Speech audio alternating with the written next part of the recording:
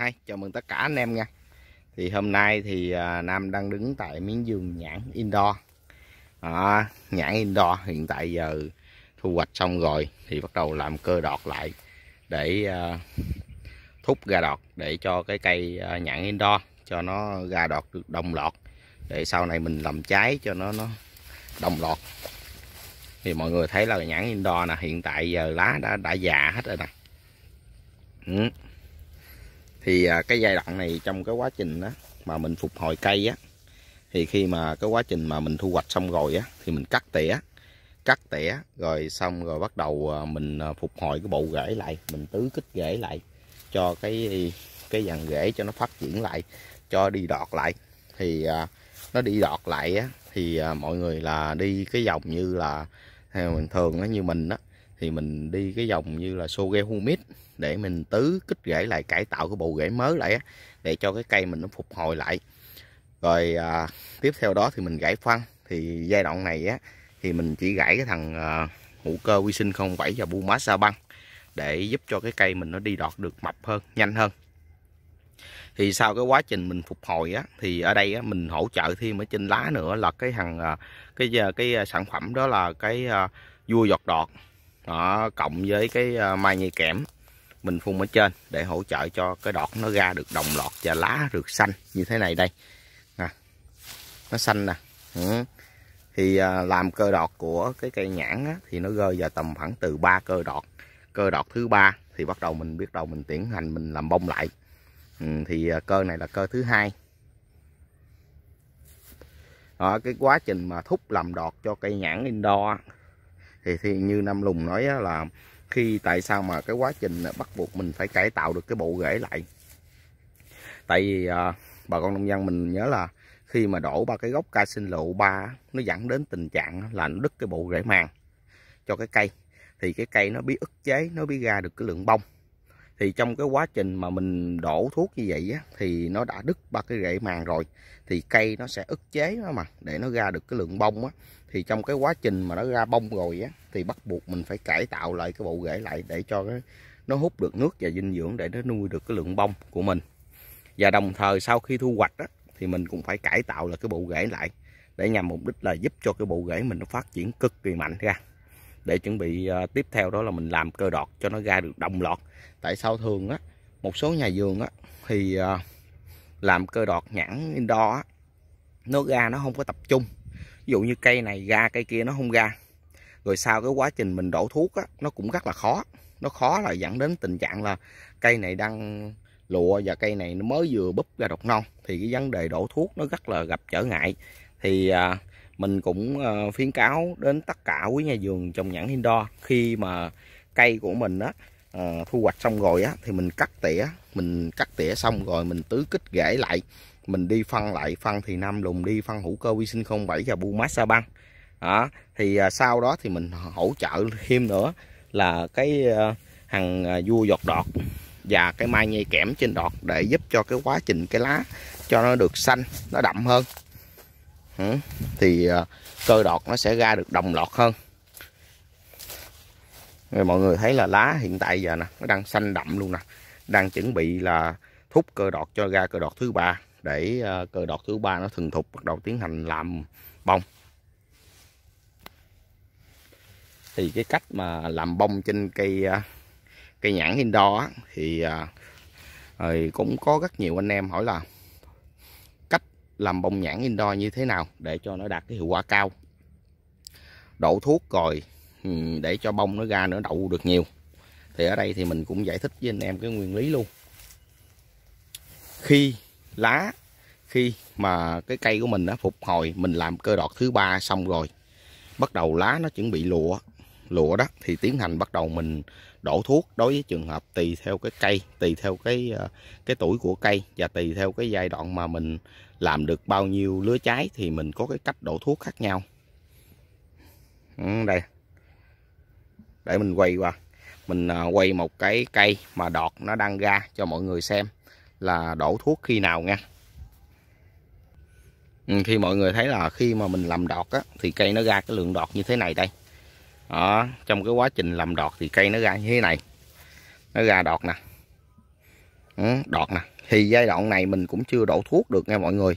Này là nó mới chuyển bị qua đổ qua lụa, chưa chưa được lụa nè. Thì mình chưa đổ thuốc được, để cho nó chuẩn bị lụa thần thục rồi mình bắt đầu tiến hành đổ thuốc. Thì đây là cái quá trình mà mình làm đọt cho cái cây cây nhãn nó ra đọt nè. Ừ. đó. Nó ra đọt ra đọt phải đồng lọt như thế này. Thì sau này mình làm bông nó rất là dễ.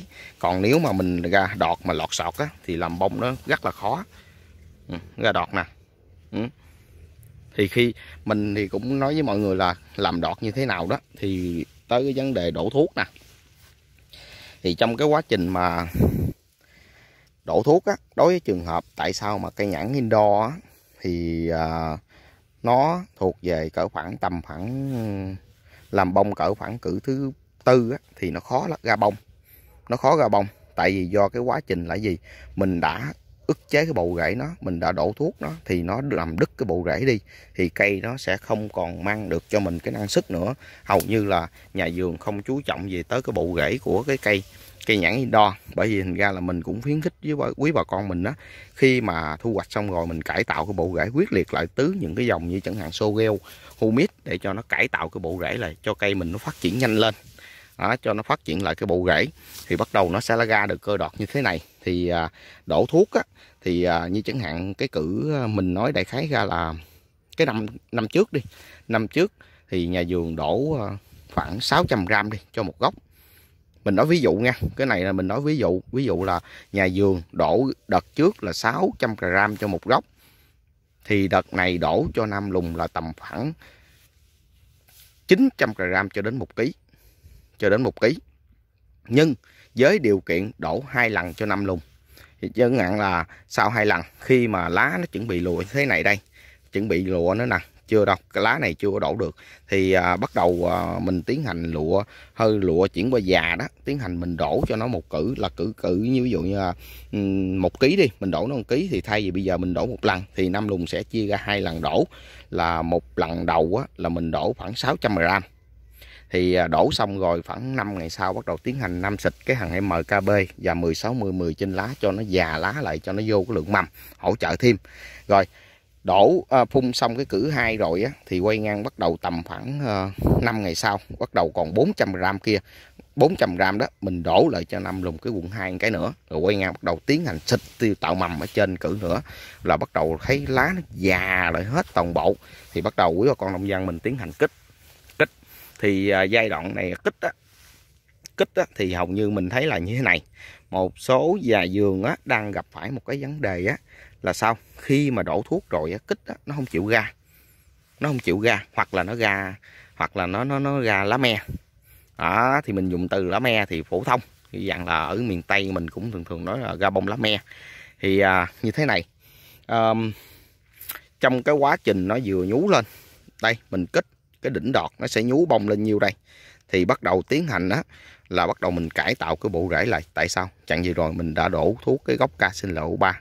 Mình đã thổ thuốc rồi. Bởi vì ra nó xé cái bộ rễ làm cho cái cây mình nó ức chế. Cái bộ rễ nó không còn đủ để hút được nước và dinh dưỡng đưa lên nuôi cái lượng bông của mình. Nó không có được dài thì trong cái quá trình này là bắt đầu mình tứ cái dòng sorel humic vô để cho nó cải tạo cái bộ rễ mới này để cho cái bộ rễ mới mình nó ra, nốt được cái dinh dưỡng để nó nuôi cho mình cái cổ bông và cái cử bông và cái cử trái này.